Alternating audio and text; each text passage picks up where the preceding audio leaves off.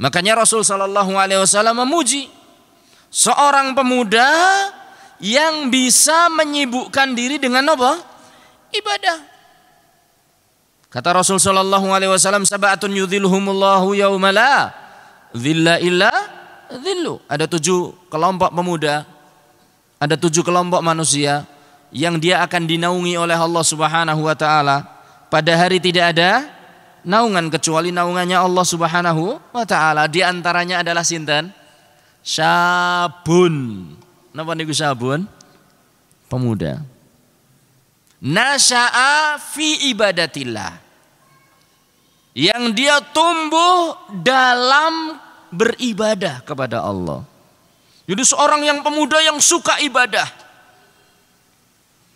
Kenapa kok pahalanya sedemikian besar? Pemuda yang tumbuh dalam ibadah. Kenapa? Karena secara wajar namanya kehidupan pemuda itu nafsunya bergelora. Nafsunya besar. Dia mudah untuk tergoda. Tengok kanan tergoda, tengok kiri tergoda, lihat depan tergoda, dengak ke atas pun tergoda. Dengkluk tergoda. Apalagi zaman sekarang, Masya Allah.